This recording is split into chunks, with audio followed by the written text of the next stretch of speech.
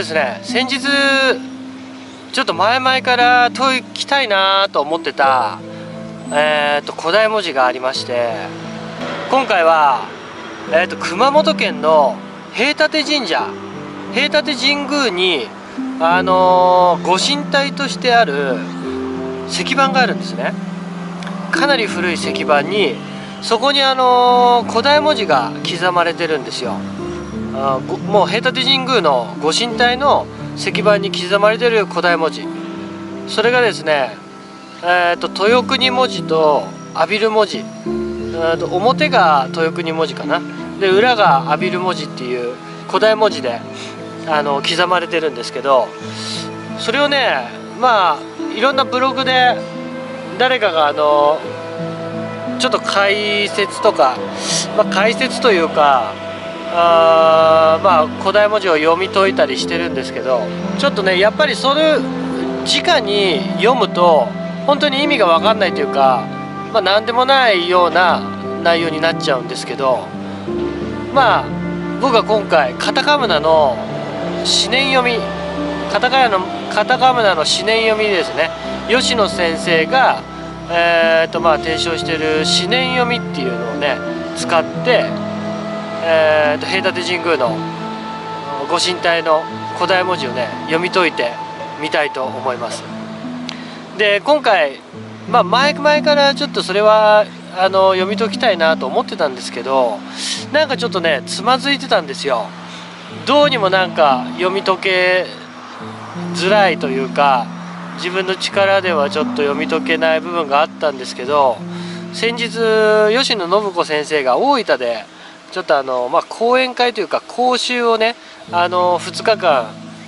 あのしてくださって大分に入ってたんで僕はあのちょっと吉野先生の講習会にあのぜひともということであの参加させてもらったんですけどそこでやっぱりすごいあの気づきもありましたし、まあ、今までちょっと解けなかったあの解けなかったことも解けるようになったんで、まあ、ちょっと今回はその石碑でねあーとカタカナの思念読みでちょっとあの読み解きたいなと思って、えーチャレンジしてみました。そしたらですね平立神宮の思念読みであの石碑をですねご神体の石碑を読み解いたんですよ。そしたらもう本当にびっくりしたんですけど以前にあの国先の国先にもね岩に刻まれたペトログラフがあるんですね。古代文字が刻まれてるんですけどそれも前にちょっと読み解いたことがあったんですけどそれもね豊国文字と阿比留文字と出雲文字っていうそれは3種類の文字なんですけど平立神宮の石碑とね同じ古代文字が使われてるんですよ。で読み解くうちに本当にびっくりしたのが国先の石碑に刻まれた古代文字とあの平立神宮のご神体の古代文字同じねシステムを表現してたんですね。同じことを言ってるんですよ。あの平立神宮の石碑の古代文字と国先のね山の中にある岩に描かれた古代文字、まあ、豊国文字と阿比留文字っていうんですけど同じ内容というかあるシステムをねあの指し示していた古代文字だったんですね。まあそれが僕が前々からあのまあいろいろね岩倉とか山とか行ってるんですけど全部ねつながったんですよ。で前のピラミッドの動画とかでもちょっとピラミッドの解明ということであの山の名前とか国先の石碑を読み解いて、まあ、ピラミッドのねなぜできたのかとかどういう仕組みっていうのをカタカムナで解明したんですけど解明して解説をね自分なりにしたんですけど今回ちょっと平太寺神宮の石碑を読み込んだことでまたねちょっとそれにプラスアルファ新たな発見が出てきました。でま前まではちょっと見えてなかったラインとかシステムの構造とかも全部見えてしかも今までのが全部つながったんですね、うん、なのでもう本当に超古代のその阿蘇のエネルギーから国先のねあの双子山宇佐神宮の、ね、お本さんの全体のねもう壮大なるシステムっていうの、あの見えてきましたんでそれを今回の動画であの解説していきたいと思っています。はい。まあ、カタカムナをあのあまりご存知ない方はカタカムナの思念読みですね。吉野先生の思念読みっていうのをあのベースとして僕は読み解いていますんでまあちょっとその詳細はねそちらの方で確認してもらったりしていただければいいかなと思います。まあ僕もちょっとカタカムナのね思念読み吉野先生のあのー、カタカムナをねこれからはもっと追求して勉強してねいろんなものを読み解いていきたいなと改めて思いましたのでまあそのまず第一歩として、まあ、今回の平立神宮に伝わる石碑を読み解き国先のもう一回ねあのペトログラフ石碑をもう一度ちょっと読み直しね読み解き直しそれでもう一回その全貌をね追ってみましたので是非ご覧ください。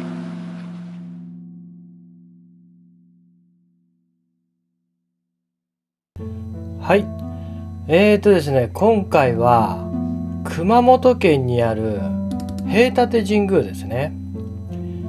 平立神宮にですね、熊本の世界の地球のへそと言われてるんですけども、平立神宮という神社があります。この神社がかなり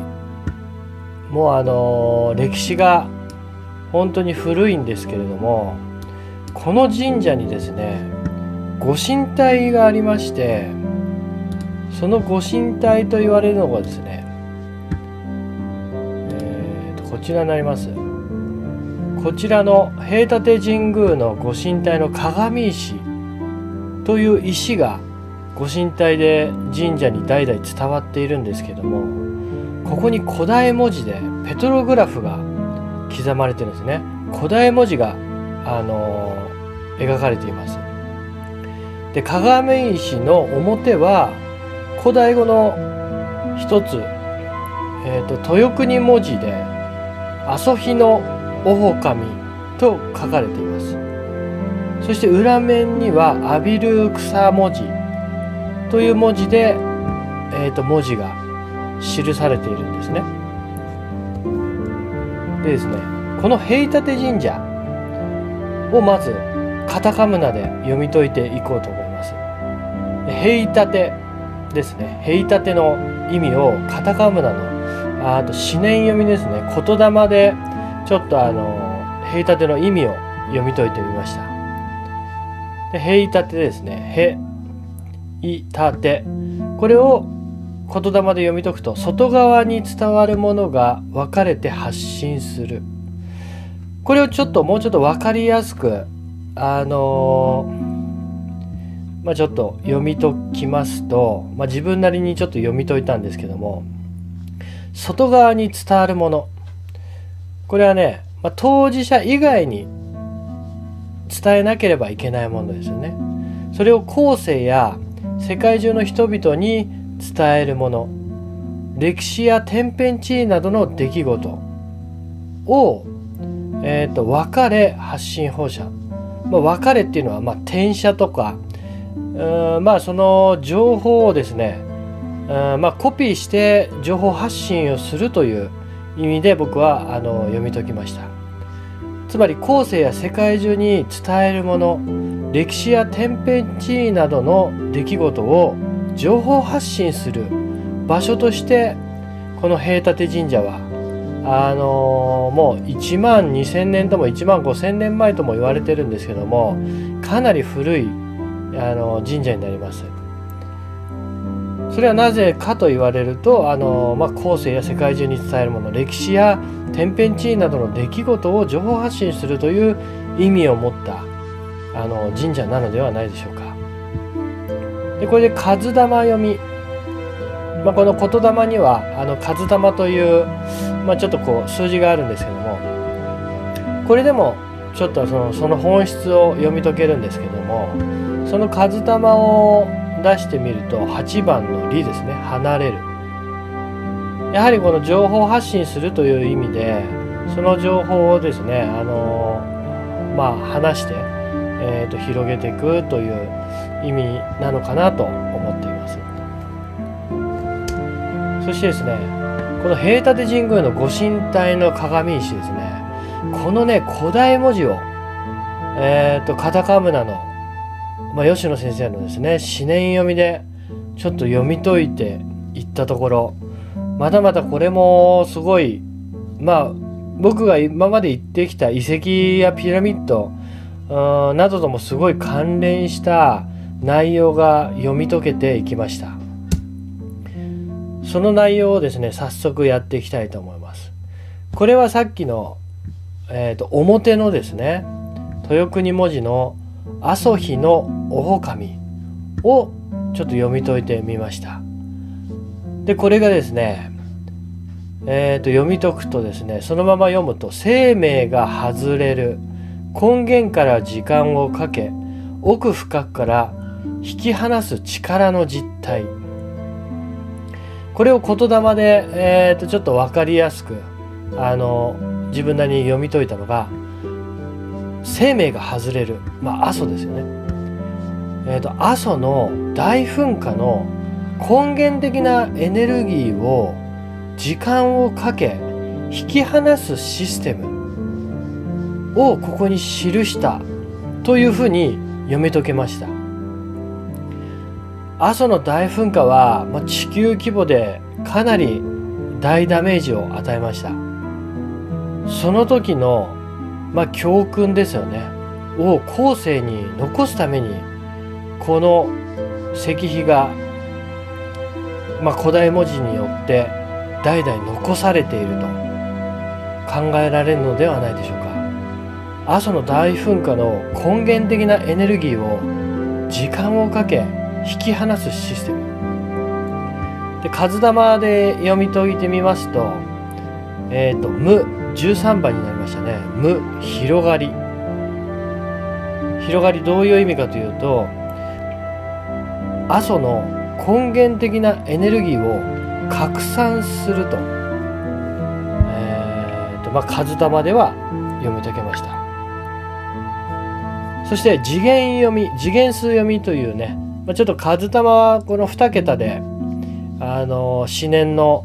ナンバーから読み解くんですけども次元読みっていうのはこの2桁の数字をまた 1+3 で足して41桁にして、まあ、その1から9までの、まあ、9次元の中の性質をね、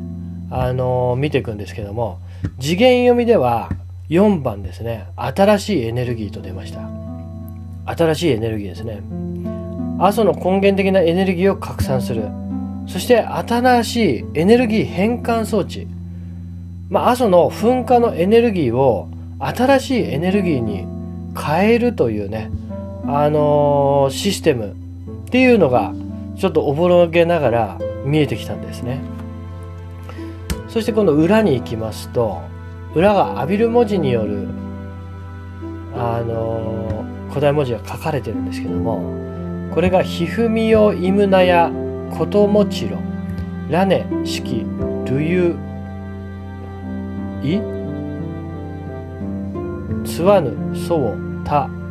はくめかうをえにさりヘテノマス汗エホレケ、まあ、ちょっと何が何だかこれねあのー、しっかり訳してる人がやっぱり少ないんですけども。ねあのー、まあ何でもないことを責任残すというよりはまあこれもちょっとねカタカムナであのー、ちょっと読み解いていきました。でこの「ひふみよイムナやこともちろ」まあ、ひふみの祝辞と言われてるんですけどもこの本質的な意味をですねえーと、カタカナの、まあ、吉野先生の思念読みで、えー、僕もちょっと読み解いてみました。そうしたところ「ひふみよい」「ひふみよい」で一回切りますね。でここが地球の「ひふみよい」12345カタカナの意味があの思念読みでの意味がですね地球の根源から出たエネルギーが出現する。常に新しい4次元の陽のエネルギーが物質の空間過去阿蘇山に充電され噴火のエネルギーが誕生する。根源から火ですね。火っていうのは根源からになります。根源から増え増える実体地球の根源から出たエネルギーですね。エネルギーが出現する。そして45ですね。45は新しいエネルギー。常に新しい4次元の陽エネルギーが物質の空間阿蘇山の中ですね。阿蘇山の火山の奥深くの中に充電され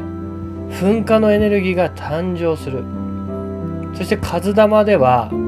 12345を足して15になりますので、えーと飽和するというねあの意味につながってきます。そして今度胸やこと。これらの広がりの中で噴火のエネルギーの核ができる。阿蘇山が7の周期で寿命を消費する。7を超えて寿命の飽和を括弧8を超えると9で臨界点に達し大噴火を起こす。まあひふみを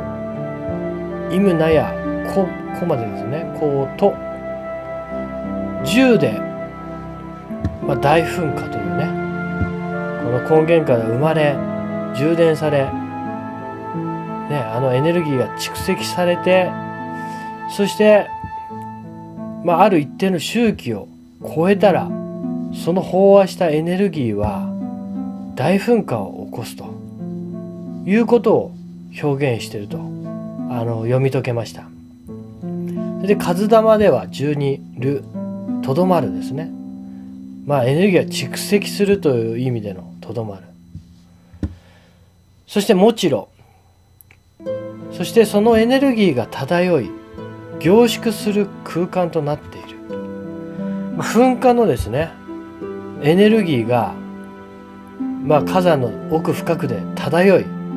凝縮する空間となっていると。これが数玉で13番の広がりになってます。そして次がラネ、シキ、ルユ、イちょっと昔のこれ字なんですけどラネ、シキ、ルユ、イと読みますね。でこれが場を満たす現象のエネルギーがたまり湧き出る伝わるもの。これを分かりやすく解読するとその場所が充電され死のエネルギーがたまる噴火の山と読み解けました。そして数玉読みではえっ、ー、と1831たす8たす3で、えー、と9 12になりますのでこれもとどまるんですね。とどまる。なんかこう話がつながっていきますね。まあそれほどやっぱり後世に残すまたはまあ世界中にまあ残すと広めるというねインパクトは十分にあった火山の大噴火。それを古代人は何らかの形で後世に残そうとしてたといううん意識がちょっと見て取れますね。そして次が「つわぬそうた白明これを読み解きますと集まる調和を突き抜き外れ奥に出現する分かれて引き合い引き寄る思考。これを分かりやすく解読した時に集まった噴火のエネルギーを突き破り火山の下で、えーと、集約した噴火のエネルギーを突き破り溜まったエネルギーを突き破りそのエネルギーを抽出し引き出し、ね、あの指し示す方向に向けさせる。そのまま溜まっているエネルギーを放っておくとある周期で噴火をする。だからそのエネルギーを突き破りそのエネルギーを抽出してあの引き出しね、まあ、エネルギーをある方向に向けさせて、まあ、空気抜けをさせるというね意味に読み解けましたねここは。そして数玉読みになります。そして数玉読みでは250ですね。250を、数玉で読み解きますと25と0に分けられて25そのもの力そのものと読み解けます。集まった噴火のエネルギーを突き破りそのエネルギーを抽出し引き出し指し示す方向に向けさせる。それは力そのものだと。まあ力というのはシステムですね。その噴火のエネルギーを抽出するというシステム。それが力そのものということを指しているのではないでしょうか。そして次に「買うおえにさり」これを読み解きますと力が生まれ出て奥深く届き圧力を遮り離れる。これをちょっと分かりやすく解釈しますと噴火のエネルギーを抽出する力が生まれ火山の奥深くまで届き噴火の圧力を抽出する。噴火のエネルギーをえー、っとまあガス抜きするような抽出する力を力がですね生まれ出てそれが火山の奥深くまで届き噴火の際の蓄積された圧力を外にガス抜けさせるという読み解きができます。でここで数玉読みが、えーと、190で19そのもの。生まれ出るそのものそのものですね、まあ、力が生まれ出るそのものですね。そして次に「経てのます汗」外側に放射し時間をかけ受容し一方向に進む生命を引き受ける。火山内部から外側に放射し時間をかけて受容しながら外側に流す。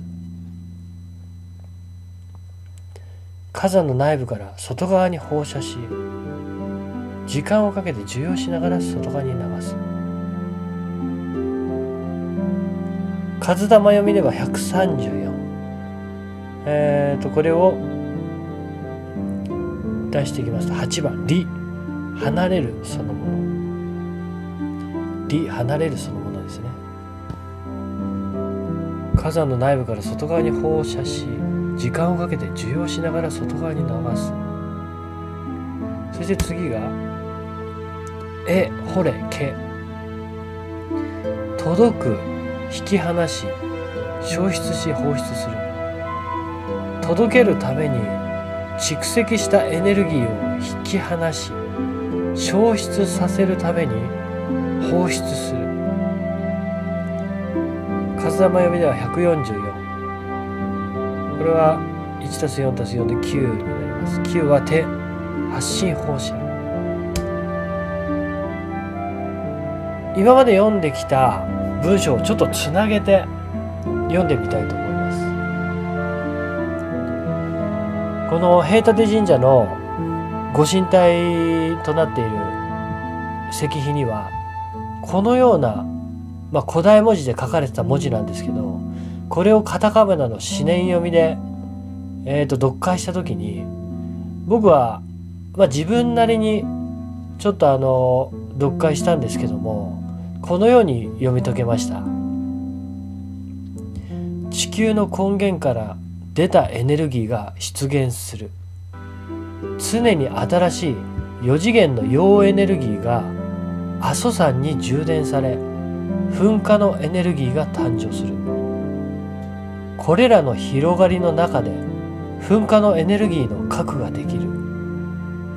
阿蘇山が7の周期で寿命を消費する。7を超えて寿命の飽和を超えると臨界点に達し大噴火を起こす。エネルギーが漂い凝縮する火山となっている。火山のエネルギーが充電され死のエネルギーがたまると噴火する山。集まった噴火のエネルギーを突き破り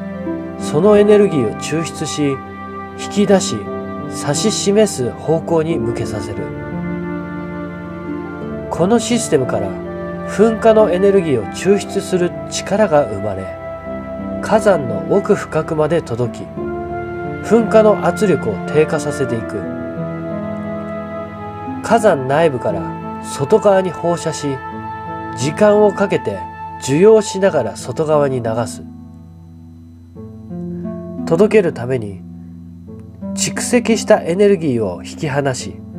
消失させるために放出するこれらが平立神宮のご神体の石碑に書かれてある古代文字をカタカナの思念読みで読み取った、えーと、役になります。地球の根源からエネルギーが出て噴火のエネルギーが溜まったそのエネルギーを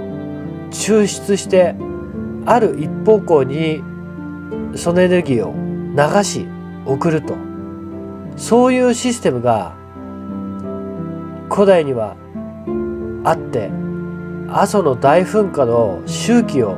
伸ばしているんだというシステムが見えてきました。そして次に今度はあの国先に古代文字が書かれてる、えー、と石があるんですけども国先の山の中にあるんですけどこれも以前に、えー、と動画でちょっとあのカタカナの思念読みで読み解いて意味を解明してったんですけども驚くべきことに平立神宮の、えーと、ご神体の石碑とこの国先の岩に描かれた古代文字ですね。すごい共通点があり内容もどうやら同じ阿蘇の噴火のエネルギーに対してどうやら書かれているのではないかと僕はあの結論にたどり着きました。同じ古代文字なんですね。この古代文字の、えーと、国先の場合は3種類の古代文字が集まってでこの太マニっていうのが出雲文字。でその右の「しよそ」っていうのが浴びる文字。あその「しよそ」の下もこのピンクのところは浴びる文字ですね。それでこの黄色のところは豊国文字ですね。3種類あってえー、っと先ほどのえー、っとそうですね平立神宮のこの文字も表が豊国文字そして裏が浴びる文字になっていましたね、これが浴びる文字になって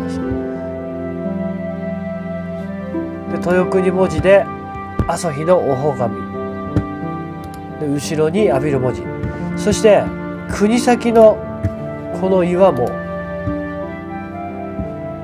まあ、出雲文字も入ってるんですけど太間にっていうのはですね。阿比留文字と豊国文字で豊国文字でやはり誰が書いたのか誰からのお告げなのかというところを示しそれで阿比留文字でその内容を書き示しているという構成になっています。すごい共通点がありますし内容も本当にあの共通項目が多かったですね。じゃこれもちょっともう一回再び読み解いていきますので。はい。では太間にからですね。太間に出雲文字出雲文字増えて統合し受容する圧力と読み解けるんですけどもここはちょっとあの素直に太間に太間にって本来あの、まあ、占いみたいな、えーまあ、古代にあった独特の、えー、神事みたいなものなんですけども啓示ですね。でそれが、まあ、これはちょっとシンプルにですねもう太間にとしてで「しよそ」浴びる文字で「しよそ」横に「しよそ」とあるんですけどこの「しよそ」っていうのをえっ、ー、と前カタカナの四念読みでしますと現象が新しく外れると読み解けます以前に翻訳した時はこの太間には左から右に行って「しよそ」を「しよそ」と呼ばれてここを縦にですね「底を焼きよきちほれ」「しもとく」とこ太間には左から右に行ったのにここの浴びる文字だけ縦に読んでたんですけどなんだかねこの「死を外」この下の本文の間にスペースがあるじゃないですか。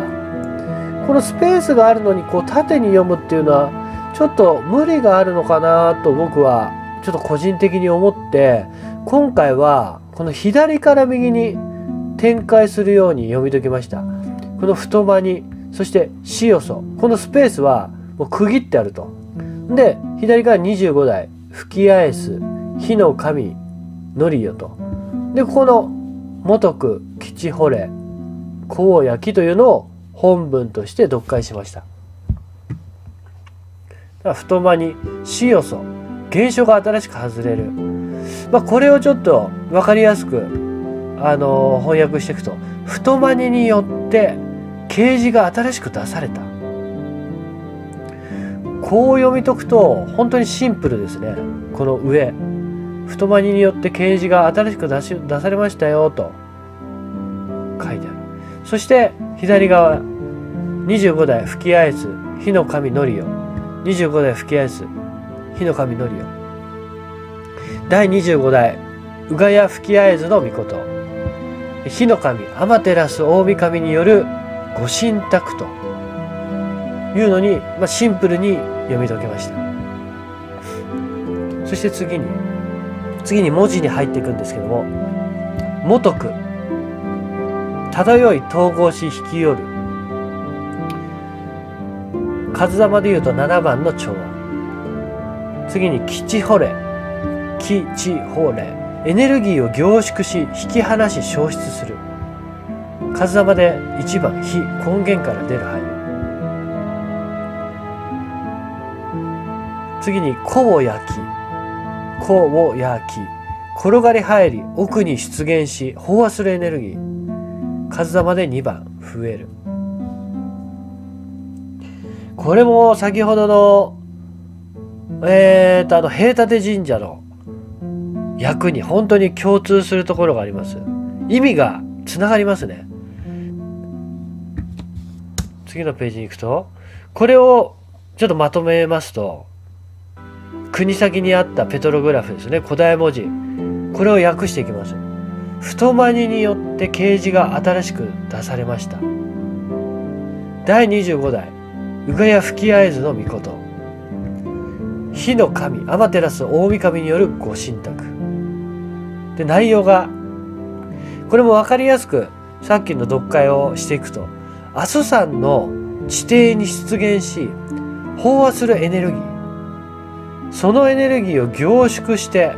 引き離し消失させる。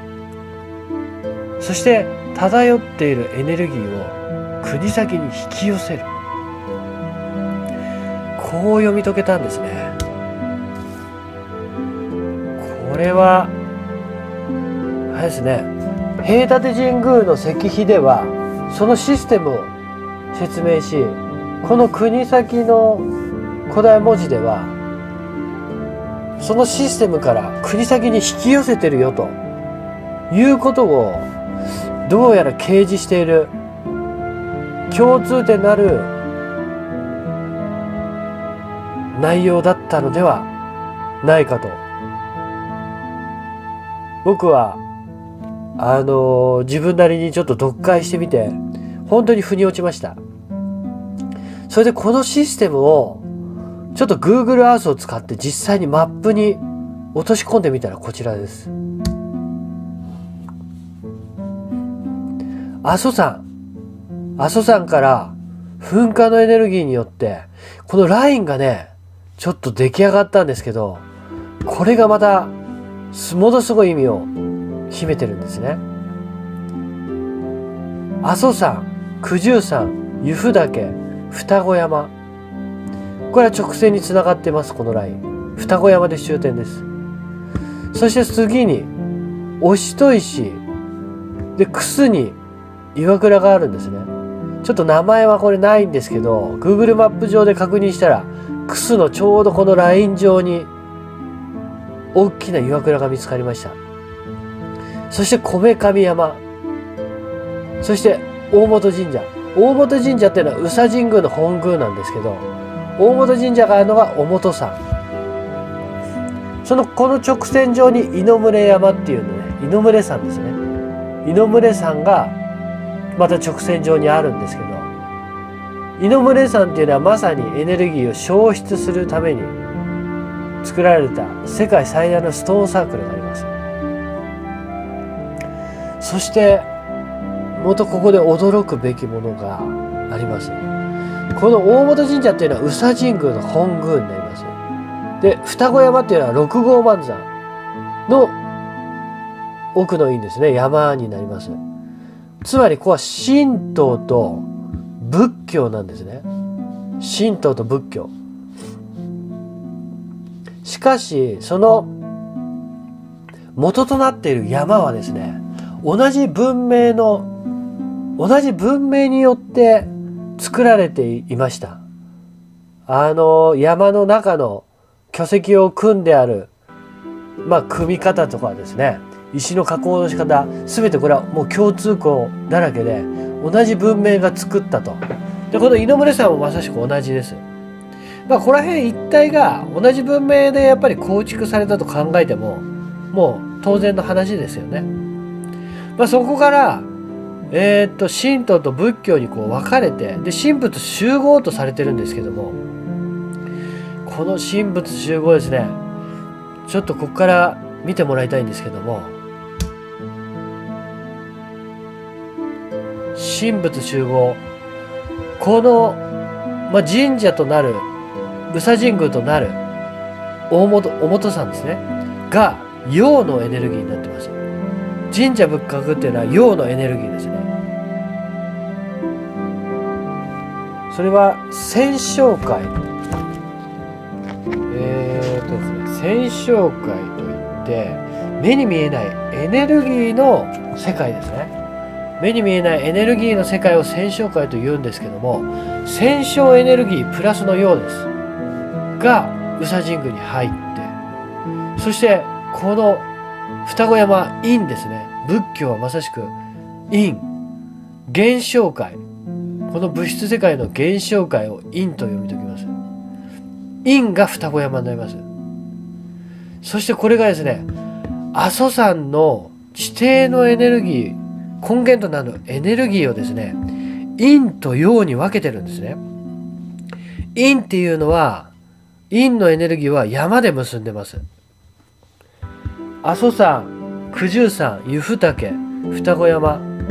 陰のエネルギーを山で結んで双子山までずっとエネルギーラインを引いてます。そして押し石。押しと石は陽のエネルギーですね。火山の陽の地球の根源を陽のエネルギーに分けてこれは岩倉伝いに飛ばしてるんですね。お人石から楠の岩倉そして米神山のストーンサークル。そして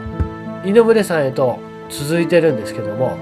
このと、まあ、途中のここで大本大本神社ですね。宇佐神宮の大本さんこれはまさしく陽のエネルギー入ってで阿蘇山からは陰のエネルギーですね。山伝いには陰のエネルギー。そのライン上に宇佐神宮の本宮となる大本山大本大本神社と仏教の六号万山の中心である双子山ですね。これで陽と陰。陽と陰にそれぞれエネルギーを分けてですねちょっと違うライン上に分けて陽と陰でこのエネルギーを阿蘇山の地底からですねあの抽出しここに流してるんですね。流して陽と陰でここで統合させ調和してますね。で消失最後には消失させると頻繁にキーワードが出てきてたのですけどもどうやらこのシステムは阿蘇山から陰のエネルギーと陽のエネルギーに分けそして宇佐神宮と,、えーと、双子寺の本宮である双子山と大本山ですね。大本山でこのエネルギーを、まあ、引き寄せて阿蘇の大噴火を、まあ、遅らせるというかガス抜けさせてるんですね。エネルギーを抽出させてガス抜けさせている。まさしく阿蘇の大噴火は人類にとってかなり壊滅的な打撃を当てるほど大きなあの災害だったと思います。その災害をどうにかしようと古代の人はこうやってまあ結界を作りエネルギーを抽出してこのパワーラインでですね送って噴火を大噴火をなんとか回避させようというシステムを作ったんですね。これが平立神社と国先のあの岩に描かれている古代文字。これが指し示していたシステムと私は読み解きました。これを読み解いた時に全てが納得いきましたね。ただ単に縄文式ピラミッドを作っている、まあ、僕は、まあ、この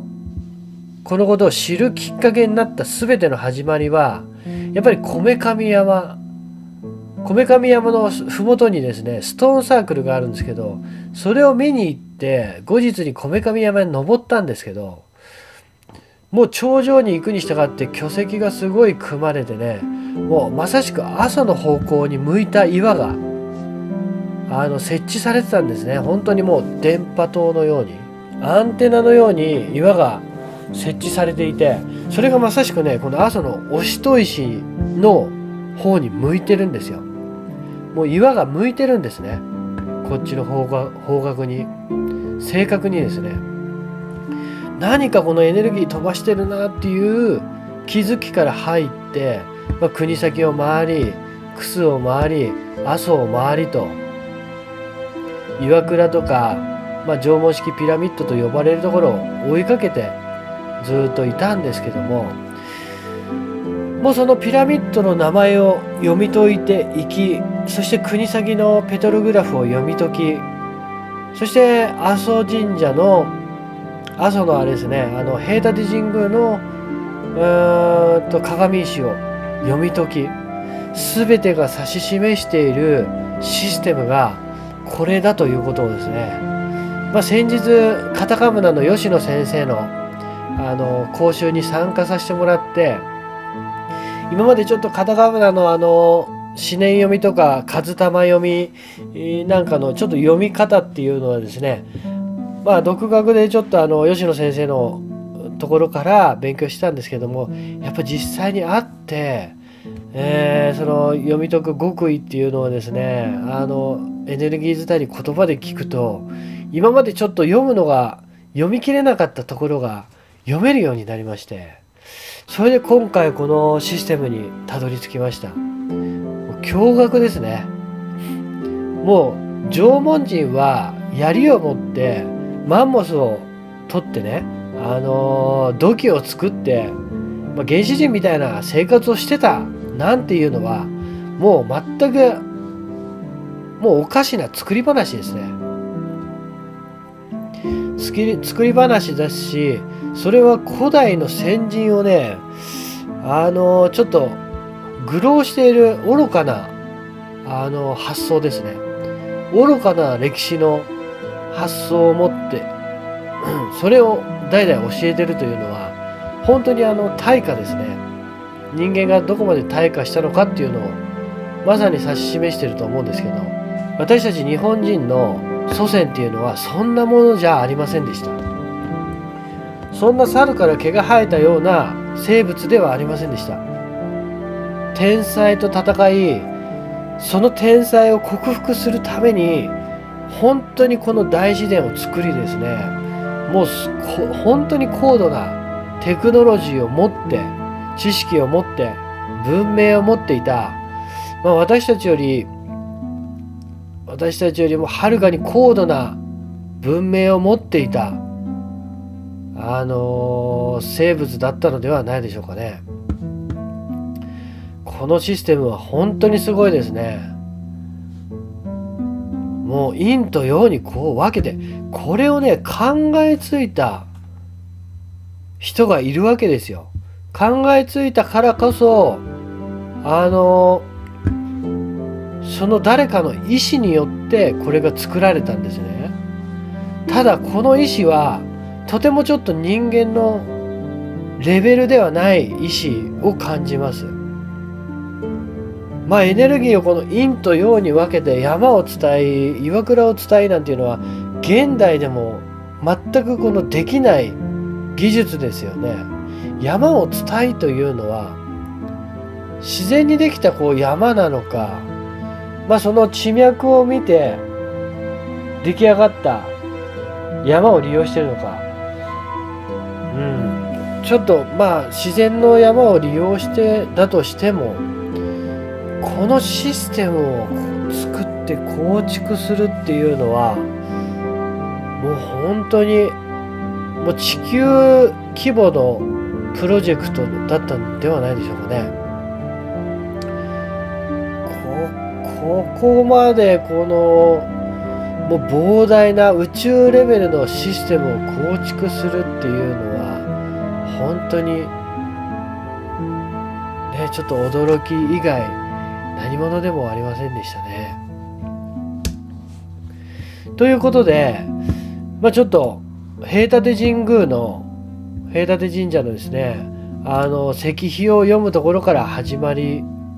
石碑の裏表を読み解いていきましたそして国先の古代文字を描かれたこの岩ですねこの岩を読み解いてどうやら一つの共通点に結びついてで阿蘇の大噴火を回避するためのシステムのことを指し示しているという結論に僕はあのたどり着いたんですね。このシステムを残したあの石碑を読み解いた時にそのまあ阿蘇のですね膨大な地球の核とつながるエネルギーを陰と陽のエネルギーに分けて。で陽はですね陽プラスの陽のエネルギーは岩倉を伝ってお人石から、まあ、クスの岩倉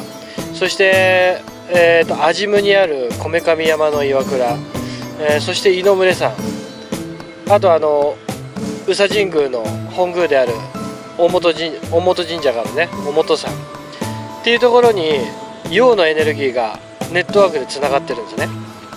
そして陰のエネルギー。陰のエネルギーは物質現象界なのでえーと阿蘇の阿蘇山から九十九十山そして由布岳そして双子山と陰がつながってるんですね。陰っていうのが山物質です。で陽っていうのがエネルギー。岩倉。それがですねまあ陰と陽でしっかりそのエネルギーのラインが引かれてそれがまあ、国東半島にある双子山の六号万山ですね。仏教の六号万山と宇佐神宮。神道の宇佐神宮の本宮。えっ、ー、と大本神社。大本山それぞれにね陽と陰でラインがつながって。でその終着点の大本山と双子山でその陽と陰ですね。陽と陰であ調和していると。ものすごいシステムを感じましたね。その平立神社の石碑と国先の石碑を読み解いてあのまあその古代文字の解読だけではなくそのラインとしても山でつながってる陰と岩倉でつながってる陽っていうのが見えた時にものすごい壮大なもう地球規模のねシステムが見えました。でこの技術この技術っていうのは、まあ、そのシステムを考えついた人がいるってわけですよ誰かの意思が、まあ、具現化してそういうふうに岩倉とか山とかのラインをつなげて、えー、まあ、阿蘇の噴火のねエネルギーを抽出してるんですけどもそれをね考えつく意思っていうのがもうちょっとね人知を超えてるなっていうふうに、あの直感的に感じましたね。まあこれだけの規模のシステムは今の人間でもちょっと想像できないし作れないですよね技術的にもテクノロジー的にも。ってことは古代文明っていうのは現在の文明をねはるかに超越した文明だっていう決定的なね裏付けになるシステムだと思うんですよ。でまあ人類の歴史っていうのは様々あるんですけどもまだ、まあ、僕たちの今の人類には伝えきれてない途中で伝わることが途絶えてたもしくは途中でどっかで忘れてしまったあ、まあ、もしくは人種自体が違うのかもしれないんですけどあまあちょっと今の人類はその出来事をまだ認識してないですしえー、理解もなかなかできないと思うんですけど実際にそういうシステムがある。そしてその、まあ、文献ではないですけどねあの石に刻まれてそれが読み解けていなかった。これがねすごい、まあ、大きな大発見だったんですね。でまあ戦勝界と現象界っていうのがあって戦勝界っていうのは目に見えない陽のエネルギーですね。エネルギー。エネルギーの世界っていうのがまず戦勝界としてありそれで現象界っていうのは陰ですね。物質。今の物質っていうのは現象現象的に落ちてる落ちてきたあの世界なんですけど、まあ、現象的に物質世界のことでしかあの僕たちの人類っていうのは判断できていないのでやっぱり戦勝界のことをね見れていた古代人っていうのはとんでもないうん、とんでもなくね、まあ、人間としても生命体としてもかなりあのちょっとこう高度なあ生命体だったのではないのかなと思います。で言葉っていうのもカタカナの思念読みを勉強してすごい分かったんですけど言葉っていうのも、まあ、戦勝的な、まあ、エネルギー的なね言霊っていうエネルギーがありそれで現象的な、まあ、実際の言葉っていうのがありだから実際の言葉でしか僕たちはあの会話はしてないんですけど実際の言葉以外の見えないエネルギーっていうのも絶対伝わってるんですね。それが言霊のエネルギー。で言霊っていうのはやっぱ思念。思念っていうのは意志ですよね。意志を読み解くことであの見えてくるんですよ。だから例えば、まあ、石碑なんかに書かれてるね文字も文字として左脳で理解しようとすると全く意味が分かんなかったりこじつけちゃうんですけどそれをね思念で読み解くとその本質の、うん、言葉が、まあ、古代文字でも何でも言葉が示してる本質の意思っていうのが見えてくるっていうのがすごい、あの、勉強になりましたなのでやっぱりね、うん、この世界には戦勝界と現象界っていうのは確かに存在するしそれをねシステム化して使いこなしてコントロールしていたっていうのがあの古代文明だったのではないでしょうか。まあ、今回の、ね、解読っていうのは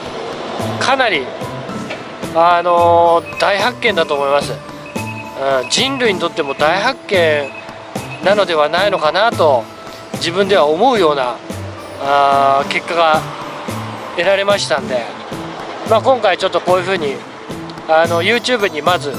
まとめるんですけど、まあ、今後ちょっとブログにまとめたり、あのー、これをねちょっと事細かくちょっと本にね、あのー、執筆して